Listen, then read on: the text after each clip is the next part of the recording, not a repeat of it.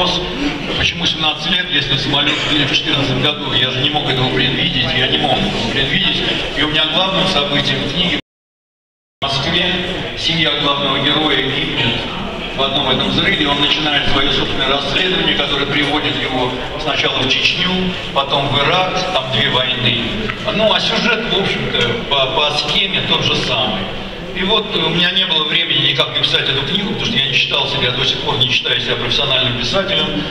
Я все время был на войне, я работал 24 часа в сутки, я написал потом документальную книгу «Шок и трепет» про войну в Ираке, про мой собственный опыт. Пособие для журналистов «Как выжить на войне».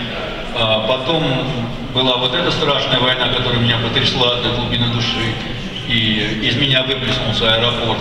То есть это то, что не влезло в мои статьи. Я написал сотни статей про войну, но, но все равно так много осталось за кадром, что я решил написать аэропорт. И когда я уже я ушел с работы, у меня было время, я вот написал этот роман «Рейс», который я сочинял 17 лет.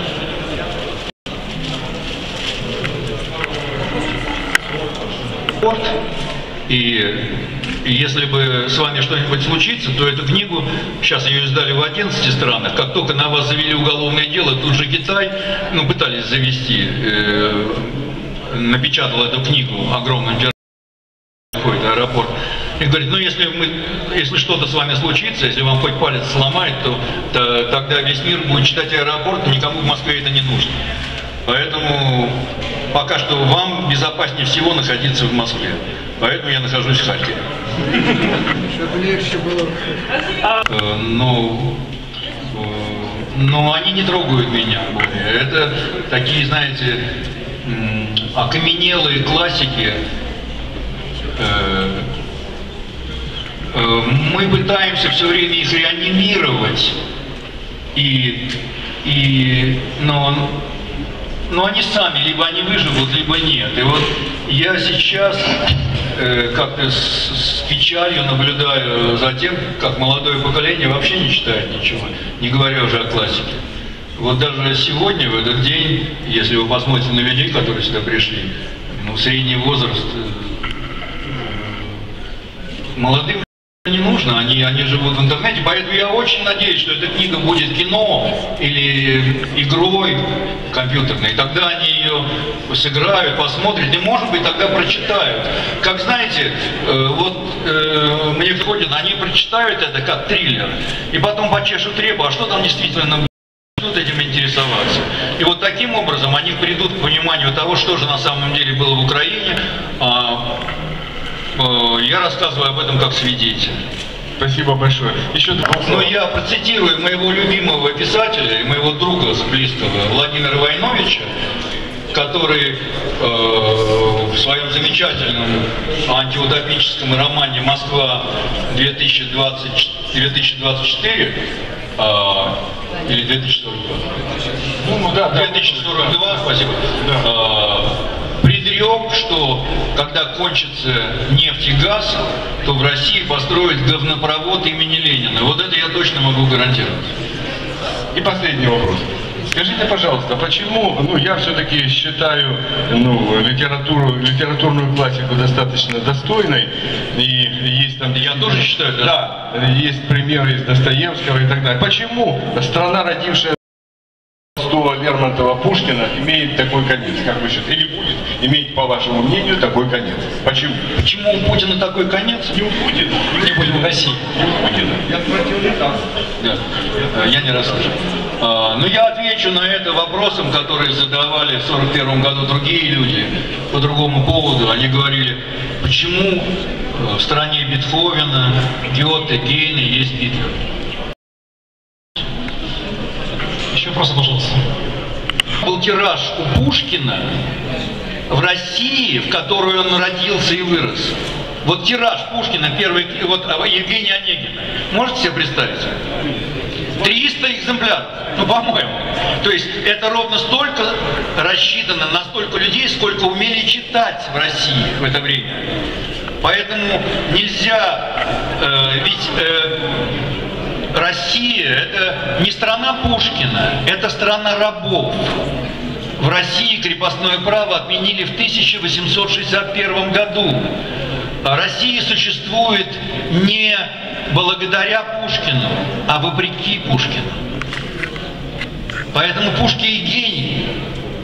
Если бы это была другая страна, понимаете, там было бы тысячи Пушкиных, Сергей Леонидович, если которые в один миг становятся в твоим прошлым. И ты понимаешь, что секунду назад ты был счастлив, а сейчас ты уже нет, тебе надо бороться за новое счастье. Поэтому человек никогда не бывает счастлив. Это, это знаете, это вот, э, это мираж. И, и когда ты был счастлив в какой-то момент, э, ты потом вспоминаешь про это и думаешь, что ты был счастлив, а сейчас ты несчастлив по сравнению с тем моментом, понимаете? И ты никогда поэтому не будешь счастлив. Это как собака, которая не может наесться, знаете, в отличие от Пушкина. Вот. А что касается будущего, ну я в своей первой книге, ой, в смысле во второй книге предрек гибель Моторола и Гиви и предупредил ансамбль песни и пляски Красной Армии, чтобы они не вмешивались в войну. Они не послушали предупреждений, к сожалению, с ними случилась трагедия. Что касается Гиви и Моторола, то, то так оно и получилось. И вообще я больше не буду писать книги, я буду зарабатывать на жизнь э, предостережениями, потому что я в 2013 году в декабре задал Путину вопрос, есть ли жизнь на Марсе, как мне сказали мои журналисты, ты задал самый идиотский вопрос. Я спросил его, э, при какой ситуации вы можете ввести войска в Крым, может ли это вообще быть в природе? Он сказал, это чушь собачья, этого не может быть, потому что этого не может быть никогда. И, и Ко мне после пресс-конференции подошли мои друзья, знакомые, сказали, ты идиот, у тебя был шанс задать хороший вопрос, ты выпендрился, задал глупость, если жизнь на Марсе. Э, Более тупого вопроса нельзя было задать. Это научная фантастика. Мне было стыдно, мне было неудобно, я подумал, что меня моя смекалка подвела. Оказалось, к сожалению, что нет. Бац, 26 февраля, мой день рождения, начинается этот кошмар. 27 февраля я в гостинице «Москва», в Крыму только что мне продырявили кинжалом эту флешку с фотографиями. Я же еще и фотограф. И, и мне тут звонит один из этих журналистов, моих друзей, который меня критиковал за э, тот вопрос Путина. И, и я думаю, он будет извиняться. Он говорит, Сережа, это же ты ему идею дал. Вот ведь перед вами сидит военный преступник. Поэтому я принял некоторые заказы и в этой книге их исполнил, а вам уже суждено увидеть через год, как все это сбудется, окей? Нет ли в ваших планах э, посетить еще раз зону АТО, чтобы ну, видеть нынешнее положение дел на войне? Ну, вы знаете, э, э, там есть замечательная сцена, когда э, тесть Папанов, такой э, партиец-сталинист, ругает своего дядя Жулика Миронова, который говорит, господи, ну когда же это закончится? А Папанов говорит, никогда. А, собственно, что ты имеешь в виду? Ну, в этом смысле никогда, да. Ну, закончится, конечно. Ну, я постарался ускорить, ну, ну, не знаю. Я сделал все, что мог в своей книге. Ну, Вот если вы действительно обладаете даром предвидения, скажите, пожалуйста, кого бы из солистов, в том числе и политических, или какой бы ансамбль вы хотели еще предупредить о их судьбе?